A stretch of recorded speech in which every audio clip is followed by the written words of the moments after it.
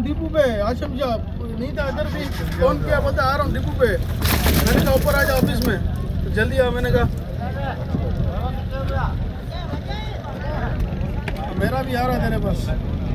बोले बता दियो